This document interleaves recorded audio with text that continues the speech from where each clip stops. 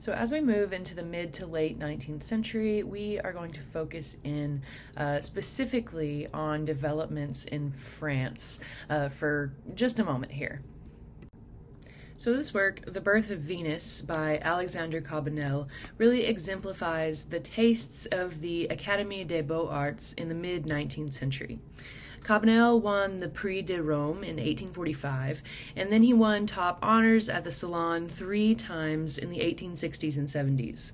This particular work was a huge hit at the 1863 Salon, and it was actually purchased by the Emperor Napoleon III. Um, so, here in Cabanel's version of this very popular mythological story, Venus lies quite centrally atop the waves, while these little um, putti or cupid figures kind of fly above her. Um, so, this really demonstrates Cabanel's technical virtuosity and his highly refined neoclassical style, but the erotic subject matter kind of connects it firmly to more romantic interests. Um, he's really rendered um, the slightly foreshortened form of Venus with this highly idealized yet naturalistic anatomy and subtle chiaroscuro that really sort of models her soft, rounded flesh, um, which is further emphasized by her sort of languid pose. Um, now, the highly detailed scene is illuminated with this clear, even light, and Cabanel has created an illusionistic sense of depth using, using, excuse me, both linear and atmospheric perspective. Um, there's a clear emphasis on the clarity of line and form, really furthered by the high level of surface finish and the absence of brushstrokes. Um, and so this is really the style that the Academy or Beaux Arts was promoting, and they were still very much uh, firmly in control of artistic professional success, um, and that was largely kind of monitored through the French Salon. The mid 19th century also, however, saw a wave of rebellion against the rules of the Academy and the rise of the avant garde. So the term avant garde was used by French military units, meaning advance guard, or referring to the units that would go in advance of or sort of scout ahead of the rest of the army. The concept of the avant garde refers to groups of independent radical thinkers who sought to break free from the norms of society and find new ways of thinking. The term was applied to Parisian artists first around 1831, after the Revolution of 1830, when many artists and architects saw themselves as working in advance of an increasingly bourgeoisie society and sought to break away from the Académie des Beaux Arts, um, its hierarchy of genres, and the sort of heroism and exoticism of the neoclassical and romantic styles. Now, this is not to say that academic and avant garde arts are complete opposites. Rather, they sort of live side by side, with some academic artists being uh, quite experimentational and some avant gardes upholding certain academic conventions. Uh, Mid 19th century Paris was particularly plagued with violence, social unrest, overcrowding, and poverty. Uh, rising fruit, food prices, high unemployment, political disenfranchisement, and government inaction sparked the revolution of 1848, which ultimately ended the July monarchy and established the Second Republic. However, continued conflicts led to further revolts, during which more than 10,000 working class citizens were killed and in- injured. And so it was during this incredibly unstable and violent period that the really the first new art movement of the 19th century was born, and that was realism. So, realism with a lowercase r is a term that we often use sort of interchangeably with naturalism, and we use that to kind of refer to art that attempts to depict subjects in a way that's accurate to life without idealizing, stylizing, or distorting them. And that is, for the most part, true here. However, Capital R realism refers to the specific movement that was born in France in the late 1840s. Uh, capital R realists really sought to depict the social reality or the circumstances of all classes in the present, not in the past, and to treat them with equal attention without artificial emotions or relationships. Um, in some ways, uh, realism is a natural follower of romanticism, which often looked at the plight of the lower class or just the individual, um, and it responded to current events. But in general, realists sought to depict everyday and ordinary subjects rather than historic or heroic ones. So, really, realism is not so much a unified style as it was a common commitment to depicting modern situations and subjects with truth and accuracy. And that includes the um, unsavory or brutal truths of life as well. One of the first to call himself both an avant garde and a realist was Gustave Courbet, who was born in Ornans, France, and moved to Paris in 1839, where he witnessed the um, violent revolution of 1848, which really radicalized him. Courbet sought to align fine art with the modern world by replacing historical and mythological subjects the truth of his personal experience, though in a rather objective way. He's quoted as having once said, I've never seen an angel. Show me an angel and I'll paint one. And by this he meant he couldn't paint what he had not seen or experienced for himself. So he strove for real, tangible, humble human subject matter, and he really refused to idealize, beautify, or romanticize. At the 1850 and 51 Paris Salon, Courbet presented two large scale works that really exemplify realism. However, at the time, they were pretty shocking to academic audiences because of his choice to portray mundane subjects on a heroic scale, his uh, coarse or blunt treatment of the subjects, and his deliberately sort of unrefined style. So Courbet painted the first of these canvases, which is titled The Stonebreakers, in 1849.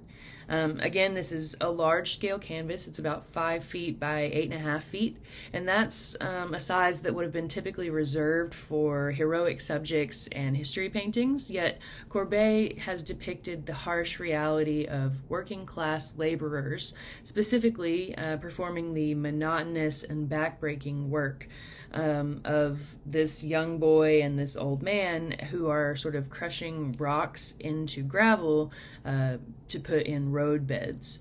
Uh, so these are quite literally, as your book states, the disenfranchised peasants upon whose backs modern life was being built.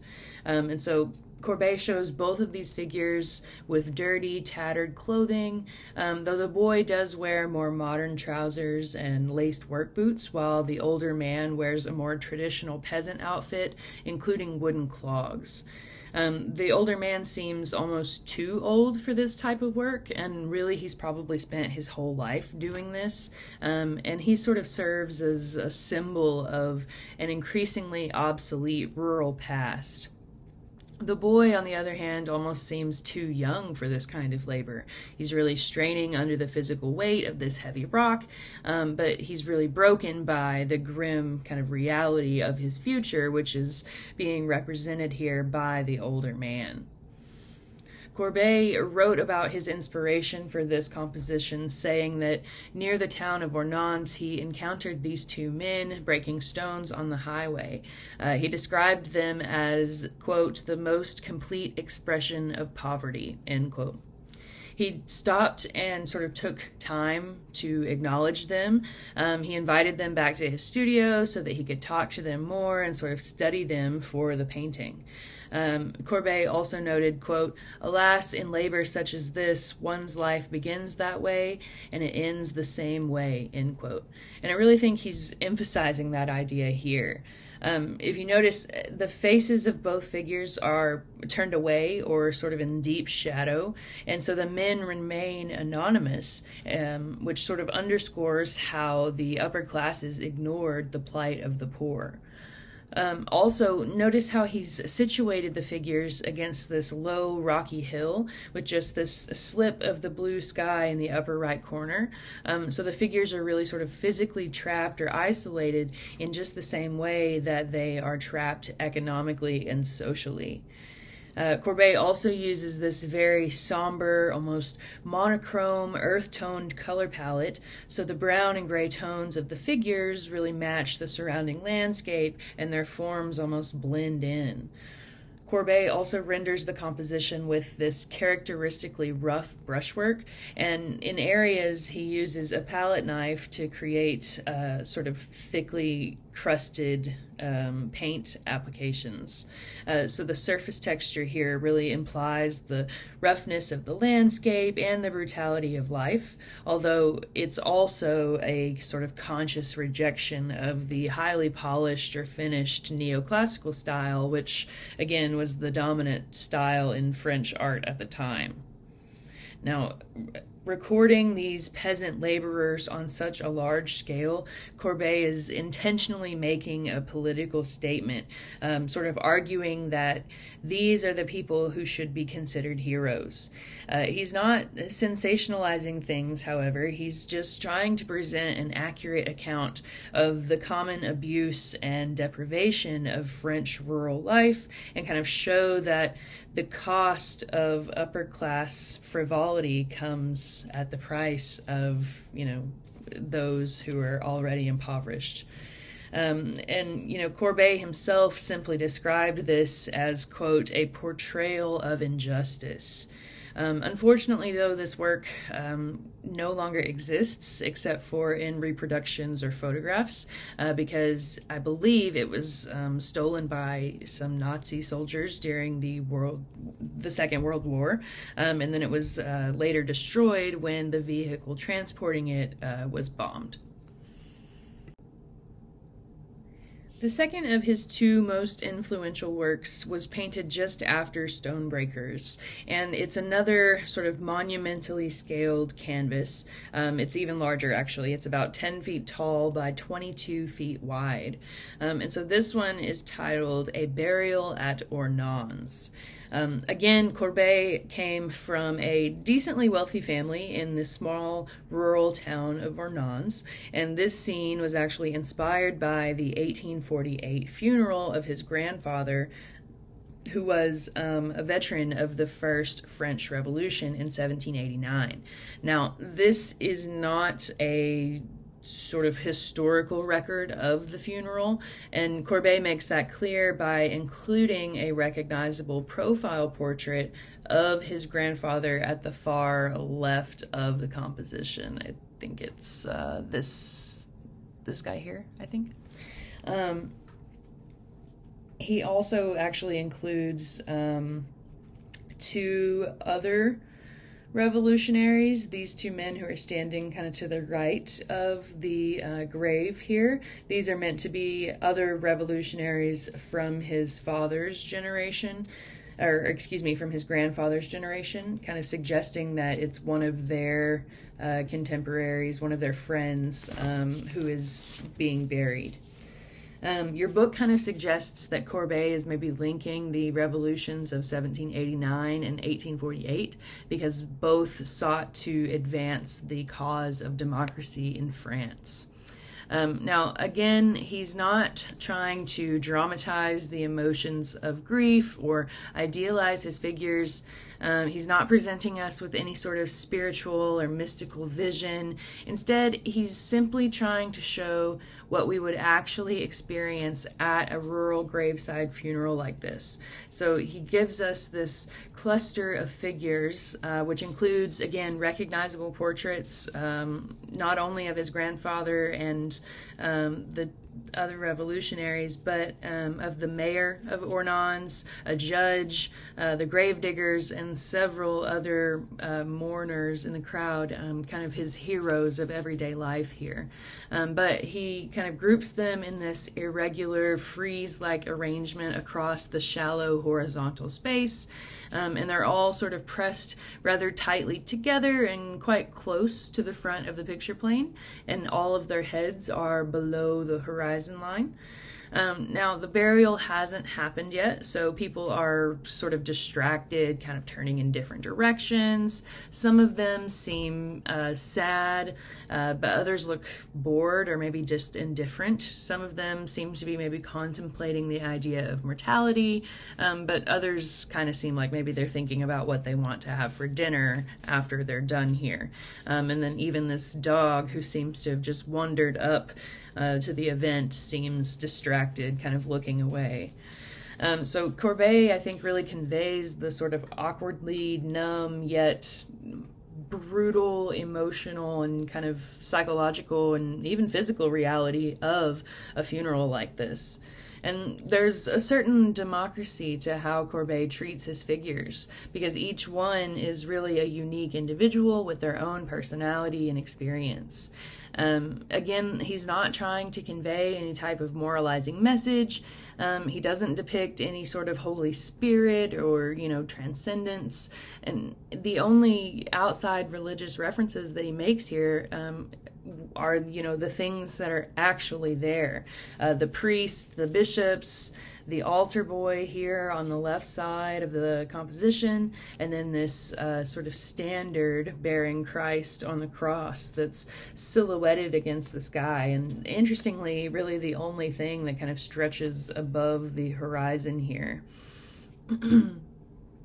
Also, notice in the foreground, kind of here at the right edge of the grave, we have this skull that lies in the dirt, uh, sort of revealing that in the process of digging the grave, someone long forgotten has been sort of uncovered and tossed aside.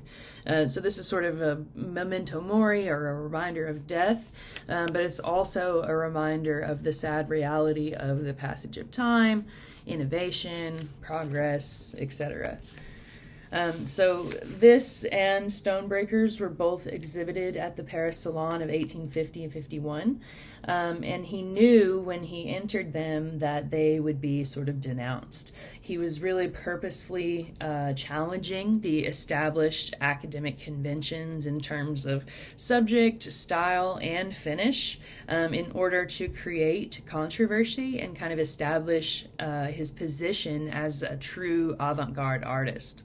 Um, a couple years later, in 1855, Courbet's works were rejected altogether from the International Exposition, and after fighting with the person in charge, he very boldly rented a property right next door and built his own pavilion of realism. Uh, and that really established him as uh, being independent of the Academy and the Salon. Uh, he created his own catalog and wrote a manifesto of realism. And in that, he declared that his aim was to, quote, be in a position to translate the customs, the ideas, the appearance of my epoch according to my own estimation, end quote. Uh, so the press really had a field day with uh, his action there, and Courbet immediately became the most controversial artist in France. But he was also immediately incredibly influential. Another important French realist was Jean Francois Millet. Um, he was like Courbet, he was sort of a political radical. Um, Millet grew up on a farm, and though he lived and worked in Paris between about 1837 and 1848, he was never fond of urban life. Um, and then later, after receiving a state commission and stipend for his part in the 1848 revolution, he actually moved to the rural village of Barbizon, which is south of Paris. And there he painted the social realities of the rural poor. So, this work, titled The Gleaners from 1857, is probably one of his best known. Um, so, in the background, we see this vast field where workers have gathered an enormous harvest, kind of piled high in stacks, and some of it has already been loaded kind of in tall piles on these uh, horse drawn wagons, uh, or maybe mule drawn wagons, perhaps. Um, but the focus of the composition is not the harvest in the background. Rather, it's the group of three women in the foreground who bend uh, quite deeply to search the ground for any stray grain. Uh, so, gleaning was a form of relief offered to the rural poor by wealthy landowners, but it required hours upon hours of working, kind of stooped over like this, uh, carefully searching for whatever was left over or dropped. And usually they would find, you know, just enough grain to make maybe a single, just small loaf of bread.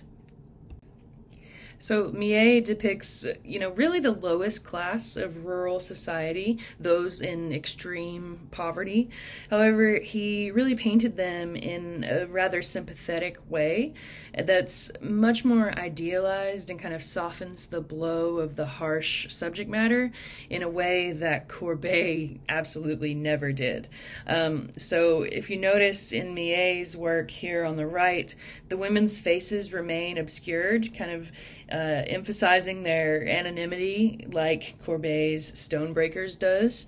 Um, but the women's bodies in Millet's composition are seemingly uh, kind of well fed, they're strong, um, and their clothes are not, you know, dirty and torn and ratty. Um, really, the entire scene is rendered with a sort of softer, um, more soothing color palette, and he uses softer brushwork than Courbet. Um, and really, Millet also seems to sort of convey a greater sense of hope with this very sort of open horizon and the vast sky versus Courbet's sort of trapped location. Now, this work by Millet, it was exhibited in the 1857 Salon, where critics labeled it realist for its implicit social sort of criticism. Um, and images like this, well, like both of these, honestly, these really put the upper class on edge because by this point in time, France had already seen multiple revolutions, and so they really sort of feared further uprisings from the poor or the peasant classes. So, some realists like Jean Baptiste Camille Corot took a more romantic, kind of less political approach than Courbet or Millet. So, here in this work titled First Leaves near Mantes from about 1855, Corot depicts the peaceful beauty of nature and rural life on a spring morning in the woods.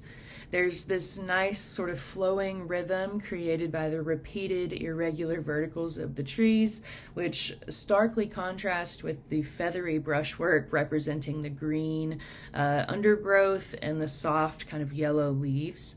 We've got this man and woman that pause on the road, kind of near the center of the composition, kind of chatting um, for just a moment. And then we have another figure to the right, kind of working in the brush or kind of in the woods there, maybe picking berries perhaps.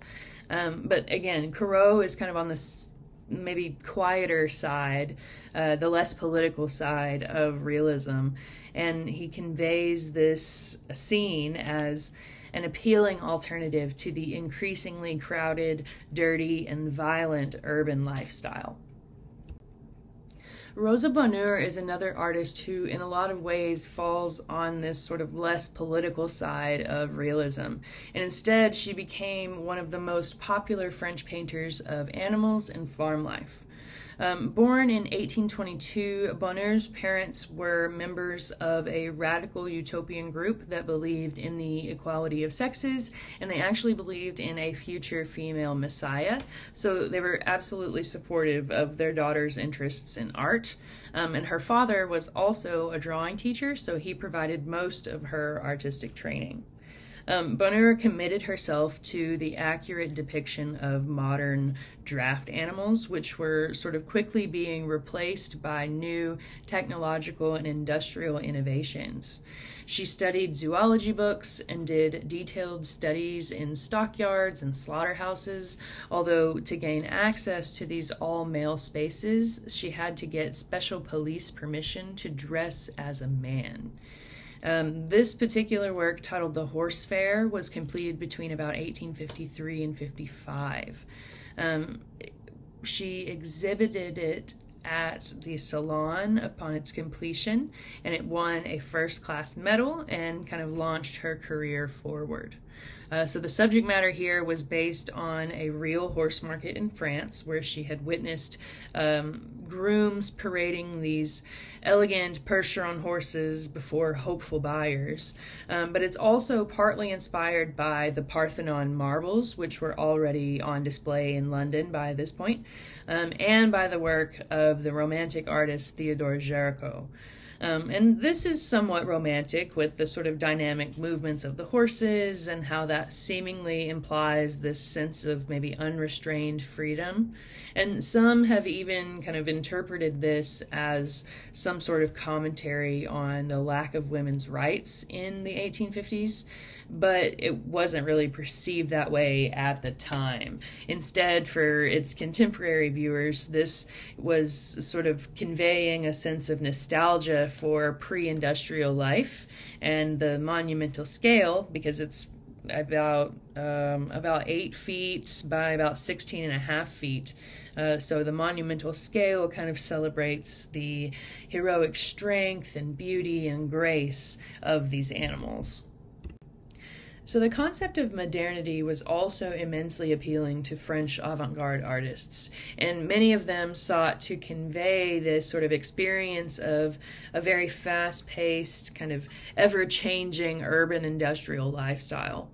In 1863, the poet and critic Charles Baudelaire published his essay titled The Painter of Modern Life, in which he encouraged artists to seek out and express that which was characteristic of the present modern moment, meaning they should seek out contemporary fashions, pastimes, and ideas and use that as their subject matter. Now, while some of these artists took a more conservative approach and remained within the traditions of the academic system, others really followed Baudelaire's call, especially in Paris in the 1860s and 70s. Perhaps the most significant of these artists was Edouard Manet. Manet was a relatively well born Parisian and close friends with Baudelaire, and he is considered a realist because of his commitment to painting on a large scale and with truth the lower class and sort of marginalized uh, individuals of modern society, although he typically tends to depict more urban subjects than Corot. Um, so here we have a self portrait that he did um, relatively early in his career, or I guess really right in the middle of his career, actually. Um, but what I've included here on the right is um, a work from about 1869 titled The Rag Picker. Um, and so this is kind of, you know, exemplary of Manet's commitment to realism. Um, he depicts the brutal reality of this man who's kind of among the poorest of the poor. Um, a rag picker would be sort of equivalent to maybe a person today who collected soda cans to trade in for a bit of cash. Um, the rag picker would go around collecting scraps of fabric and kind of textiles and materials, and then he would sell them to seamstresses to patch clothing or maybe to people to use for stuffing for pillows, things like that. Uh, but again, it would just be for the tiniest bit of change.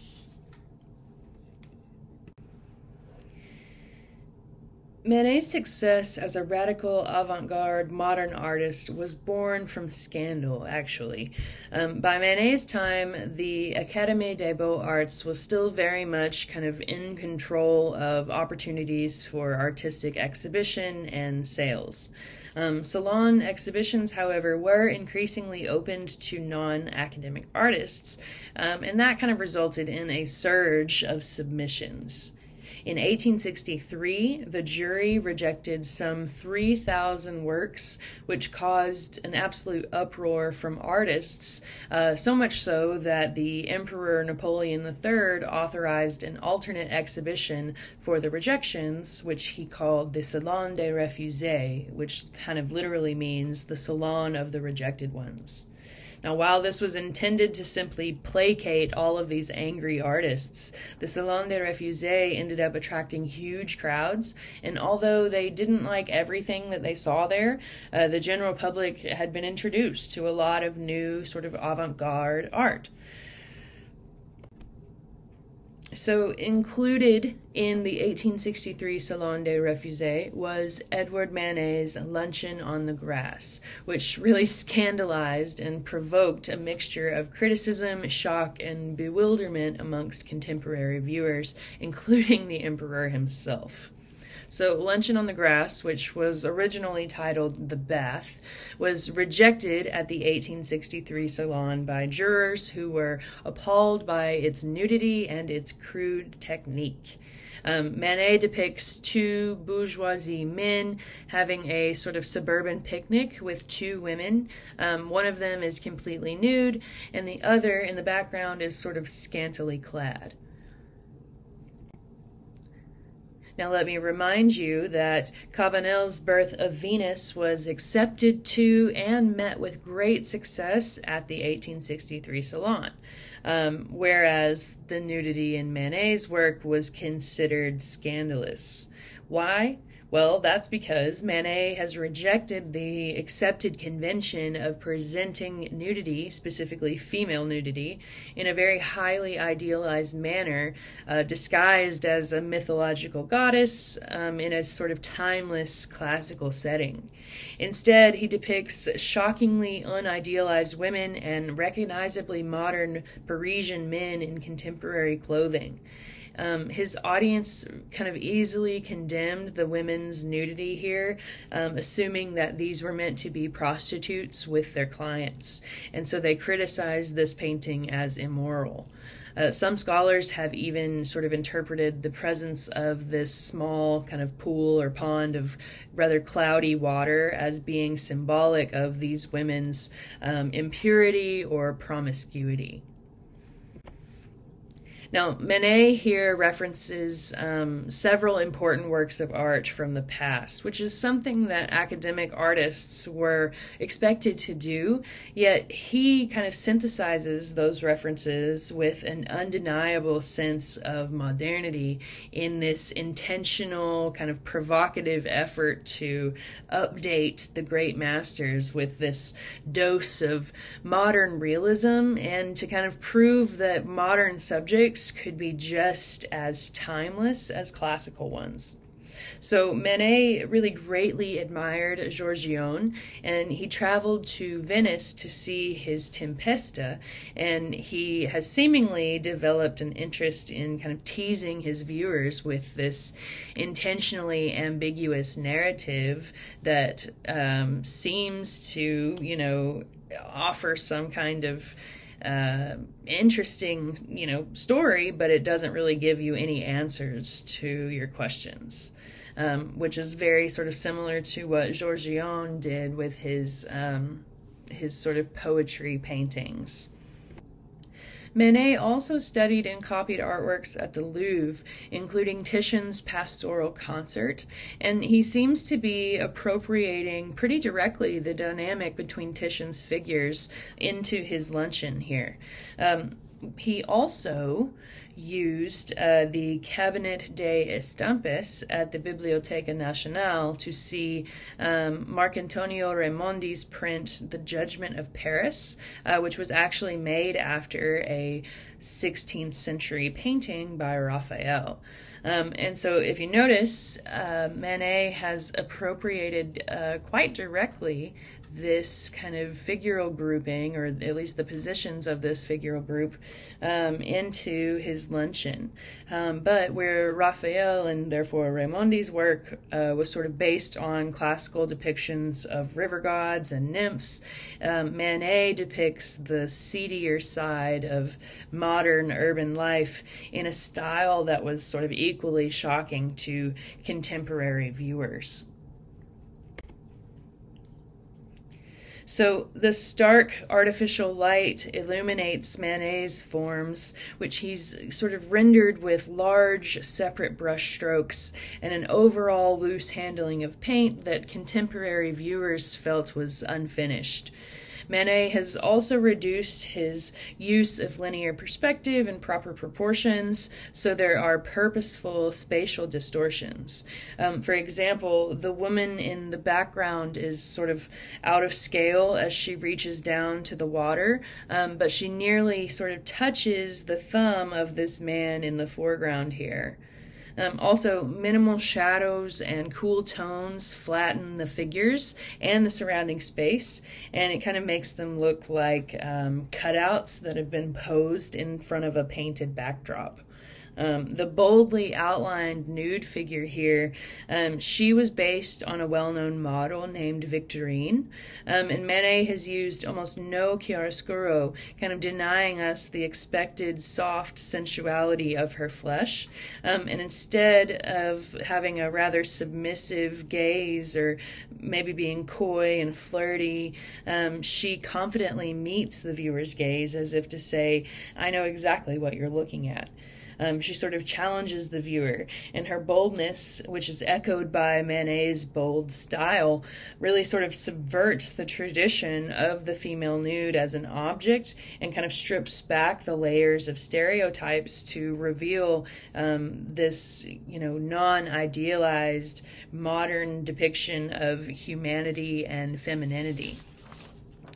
Um, Manet is really purposefully being provocative here, um, and he's kind of challenging the authorities and conventions of art making and society by presenting contemporary subjects and refusing to tell a clear story, instead, allowing his viewers to sort of interpret it on their own and really reflect upon themselves, uh, their attitudes, and their perspectives.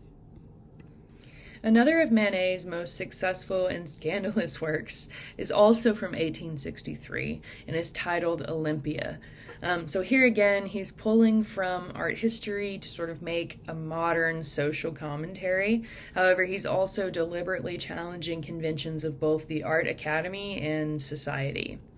Uh, the title Olympia refers to a character in a contemporary novel and play uh, who was a socially ambitious prostitute. And the name Olympia was um, relatively common or kind of popular for prostitutes in 19th century France in general. So Manet has kind of adapted the tradition of the reclining female nude here, and we know that he'd copied Titian's Venus of Urbino on an earlier trip uh, to Florence, um, and so he's almost paying homage to that here by appropriating the subject in the composition. But Manet has really stripped away the veil of mythology that Titian employs, and instead he presents another sort of shockingly modern figure in a very recognizably contemporary setting. Olympia is modeled again on um, the woman named Victorine, and she's shown reclining on this bed in a very similar pose to Titian's Venus. Um, but Olympia wears these trendy slippers and a gold bangle and this stark black choker and has this uh, kind of soft pink flower tucked behind her ear. But for all their similarities, Manet's Olympia is really the antithesis of Titian's Venus, where Venus is a highly idealized depiction of feminine beauty. Her soft, curvaceous figure, kind of rendered with delicate chiaroscuro and warm, rich colors, um, and her flirtatious gaze at the viewer from, you know, this slightly kind of lower point of view. Um, Olympia is instead this very angular and flattened figure with a bold black outline around her harsh, cold flesh. Manet really uses just the faintest of shadows to just barely model the figure. Um, and although her pose is essentially the same as Venus's, Olympia is clearly more rigid or tense, and she stares defiantly at the viewer from a slightly elevated position rather than a lower, submissive one. Um, the dark, shallow space of the room behind her presses the woman forward into the viewer's space, uh, maybe to create a greater sense of intimacy, but it also sort of creates um, this sense of entrapment, can, sort of similar to uh, Courbet's Stonebreakers. Uh, Manet also replaces the puppy from Titian's painting with a black cat, um, which is sort of arching its back and, and seeming like it's just been, you know, spooked or something. Um, and so at the time, critics of this work associated the black cat with witchcraft and sexual promiscuity.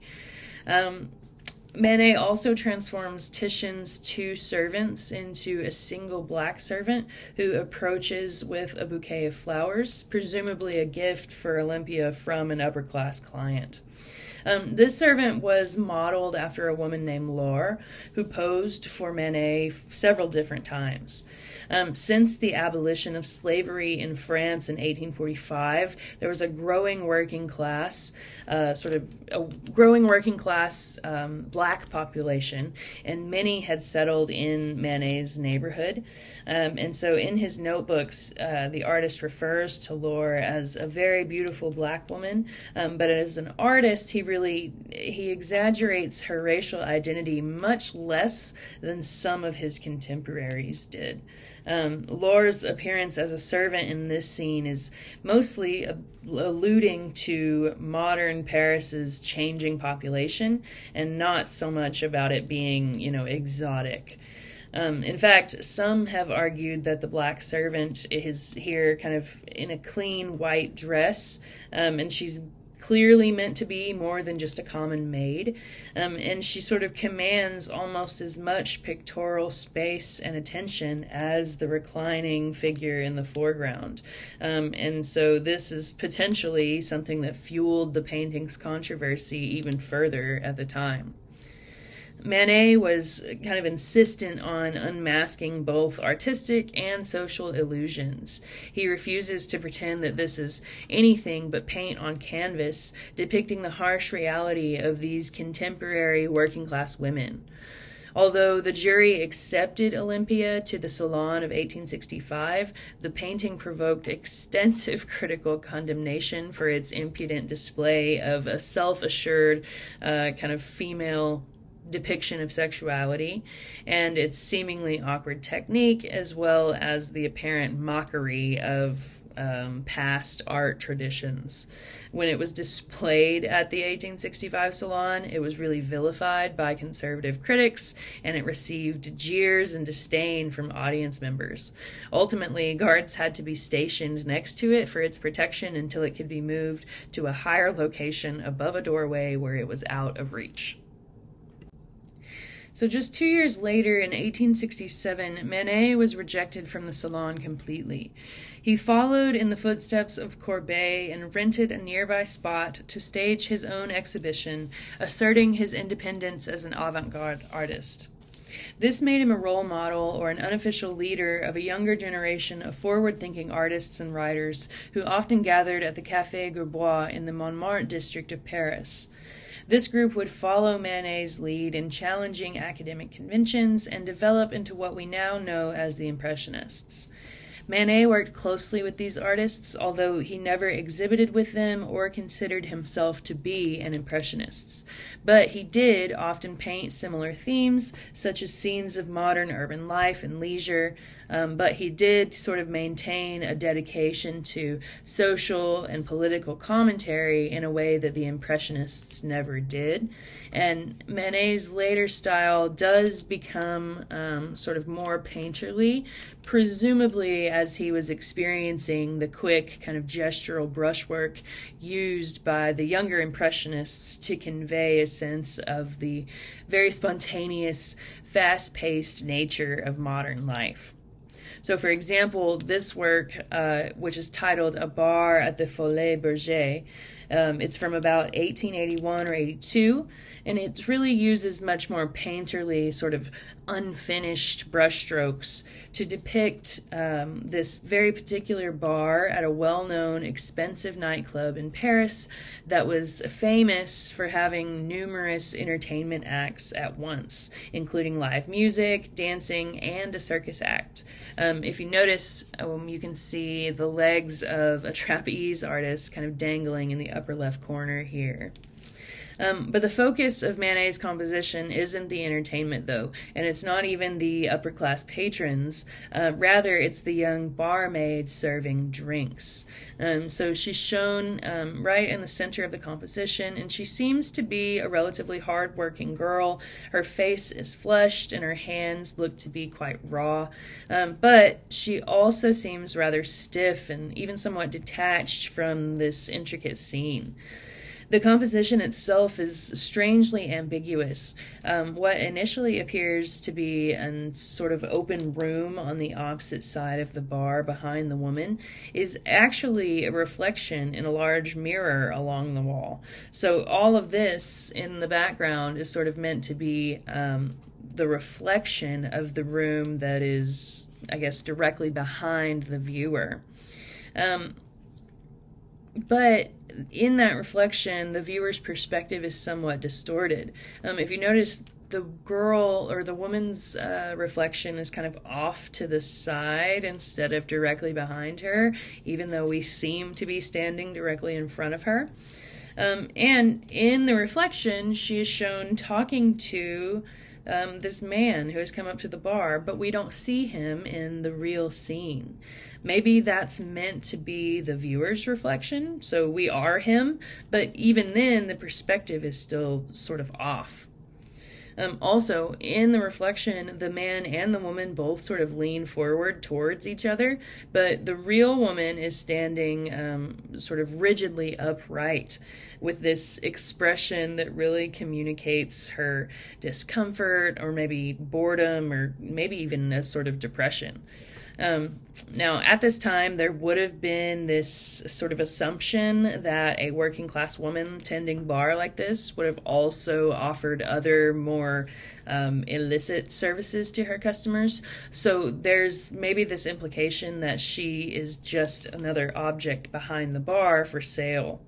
Um, if you notice, we have this repetition of triangles throughout the space. Um, we have like a triangular chandelier kind of here in the background. We also have the um, absinthe bottle here in the foreground. Her body, um, her body itself kind of makes a triangular form. We have the triangle of her coat here. Um, but more specifically, notice that um, several of these liquor bottles on the bar are stamped with a red triangular logo. Um, Manet here is referencing the logo of the Bass Brewery, which had been trademarked in um, Britain in 1876, just six years before he painted this. So he's um, referencing contemporary events and goods, but also notice with the inclusion of this triangle of red flowers pinned to her chest here.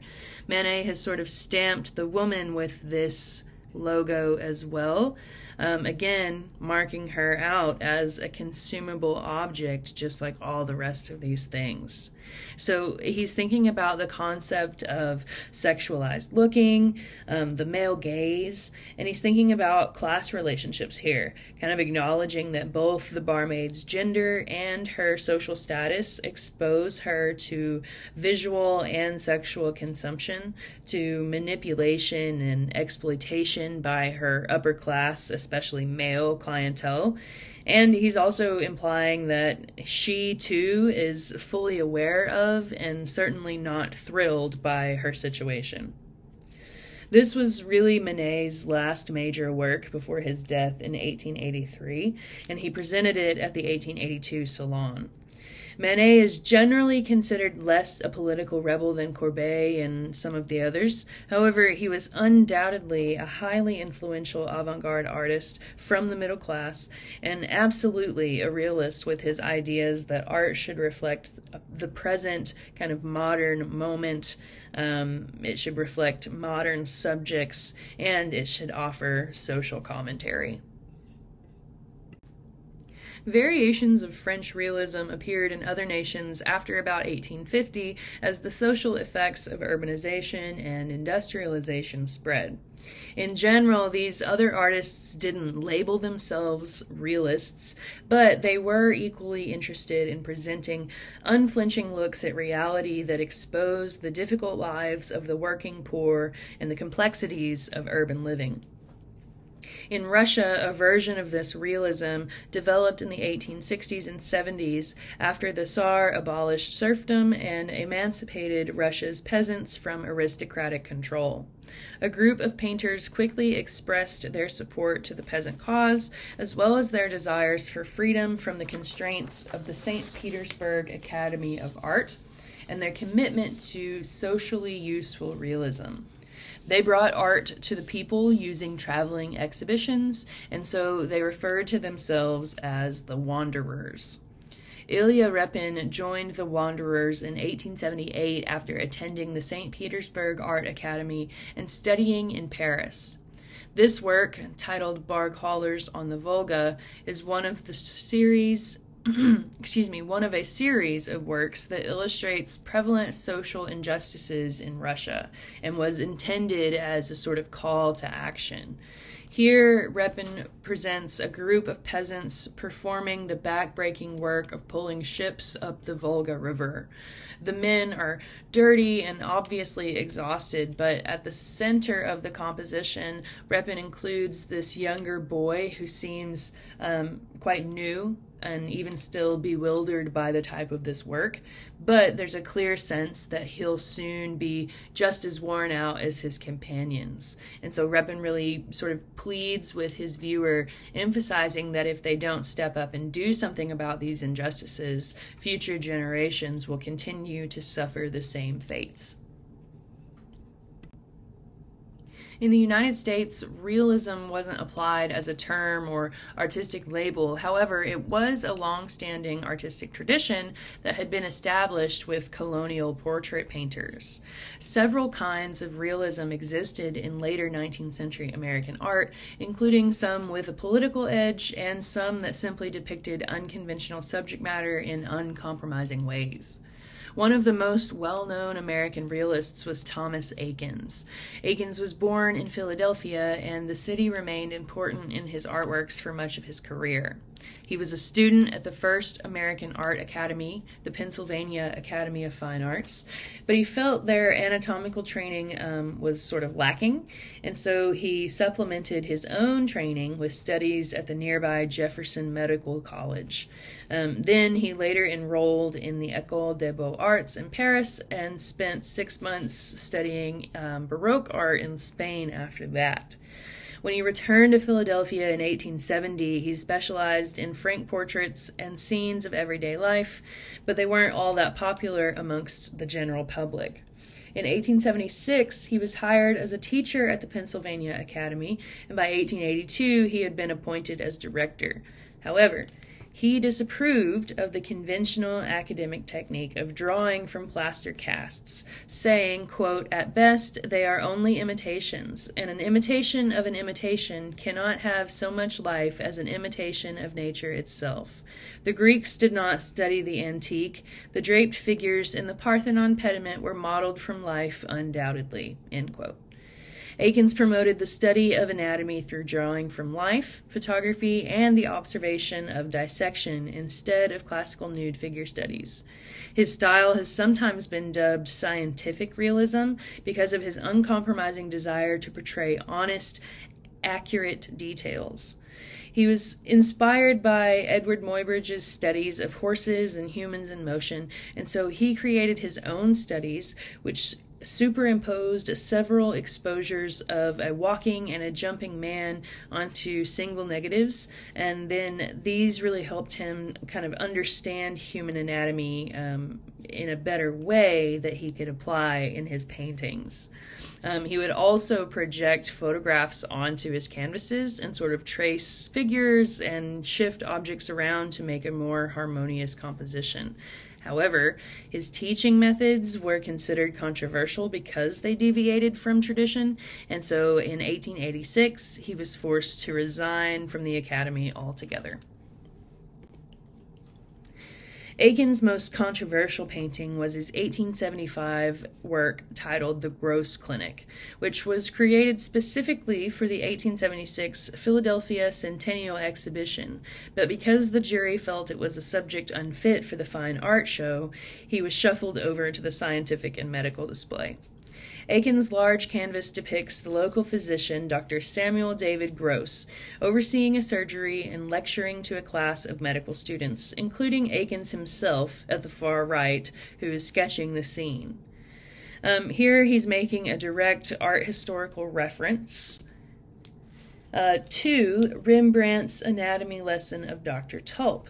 Um, and he's sort of making a similar effort to emphasize scientific um, scientific innovation and achievement.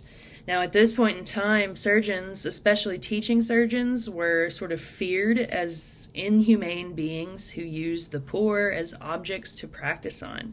And this was an idea highlighted by the reaction that Eakins has included um, from the woman on the lower left here, um, probably meant to be a relative of the patient. She sort of cringes in horror at the bloody procedure in front of her. Um, Eakins kind of focuses on the heroism of the surgeons who are performing um, this this surgery. He illuminates Dr. Gross's face and his bloody hand that wields the scalpel. And then the strong, clear light kind of highlights the patient quite prominently. However, Eakins dehumanizes him by presenting only a portion of his leg and a little bit of his rear and his socked feet here, and then just a jumble of sheets. Um, and instead, he kind of emphasizes the attentive skill of all the other doctors who are working um, here. Um, so Eakins' goal here was really to celebrate um, scientific achievement and to document the medical procedures and advancements of his time. Um, and in this case, he has actually recorded a surgical innovation that allowed Dr. Gross to save the patient's leg, um, which previously would have simply been amputated. One of Eakins' star pupils at the Pennsylvania Academy was a young African American painter named Henry Ossawa Tanner. Tanner was from a roughly middle class family. His father was a bishop. Um, and after studying under Eakins, he worked as a photographer and drawing teacher in Atlanta before moving to Paris in 1891 to further his artistic training. He painted scenes of African American and rural French life that combined Eakins' realism with the delicate brushwork he adapted while studying in France. And he ultimately became the most successful African American painter of the late 19th and early 20th centuries. With works like this, um, which is titled The Banjo Lesson from 1893, Tanner sought to counter the prevalent stereotypes and caricatures of African American life presented by other artists and provide a more realistic, human look into the lives of these people who were incredibly marginalized by both uh, their race and their poverty. Um, here, an elderly man teaches a young boy to play the banjo. Like with Courbet's Stonebreakers, we have this scene of knowledge and skill being passed between generations. Um, and Tanner's two figures are really sort of connected by their seriousness and their concentration. Now, the use of the banjo here is significant because the instrument was associated with minstrel shows, which um, were a form of racist, derogatory theater which developed in early 19th century America. Um, and so these were shows that were performed by mostly white actors wearing blackface makeup uh, for the purpose of comically portraying racial stereotypes of African Americans.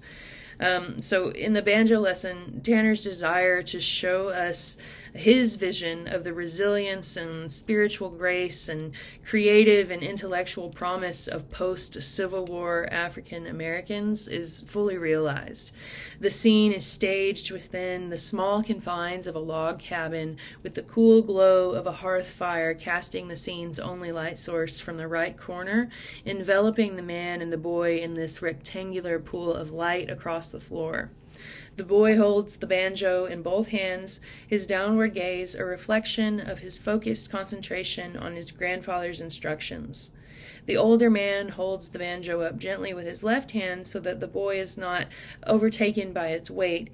Yet the staging shows us that the man wants the boy to come into the realization of the music and its rewards through his own intuition and hard work. The contrast between the man's age and the boy's adds to the narrative um, and kind of a, adds a sense of tension, maybe kind of this counterpoint between age and experience and youth and maybe the promise of the future or of achievement. The boy is really bathed in the glow of the fire's warmth, with this glimmer of white light shining across his forehead, the center of knowledge and understanding. The older man is submerged in cool shadows um, in kind of the rear of the room. And so, this carefully orchestrated play of warm and cool, of shadow and light, it conveys that the success of future generations is built upon the legacy of previous ones. Bathed in the muted, cool tones of gray and blue, the grandfather is the past, the old America of slavery and the Civil War, of oppression, racism, and poverty, while the boy, caught in the warm glow of the fire's light, is the new America of renewed opportunities, advancement, education, and new beginnings. Here's one final American realist, this time the sculptor Edmonia Lewis. Lewis was born in New York in 1845 to a Chippewa mother and an African American father, but she was orphaned at the age of four and raised by her mother's family. She attended Oberlin College, the first college in the United States to give women degrees, before moving to Boston, where she sold busts and medallions of Civil War heroes and abolitionist leaders to pay her way to Rome, where in 1867 she joined a group of American sculptors working in the neoclassical style, although Lewis tended to use that more to address um, modern, kind of realist concerns. Um, Lewis created this work titled Forever Free in 1867 as an sort of memorial to um, the Emancipation Proclamation of 1862 and 63. She shows a sort of demure woman kneeling in gratitude next to her standing male companion, who props his foot on the ball and chain that once bound his ankles and raises his hand in a gesture of liberation that highlights the broken shackle around his wrist. However, this is not only a celebration of um, freedom for American slaves. It also reflects white attitudes towards women and people of color at the time. If you notice, the female figure is um, sort of less racialized and more submissive than the male figure. Um, and so Lewis has sort of aligned her with contemporary ideals of womanhood um, so that she's more appealing to white audiences.